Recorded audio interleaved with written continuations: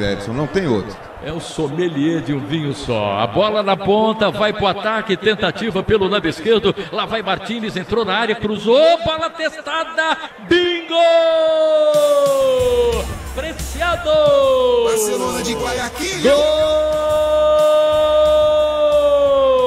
do Barcelona! Aos 23, a defesa do Fluminense parou. A bola levantada na grande área. O cruzamento foi feito no interior da grande área. Ninguém pegou. O cruzamento feito na esquerda pelo Martínez. Subiu e testou preciado para marcar o gol de empate. E agora tá lá. Fluminense! Um. Barcelona de Guayaquil! Também um. E a defesa, hein, Vitão? Que mole do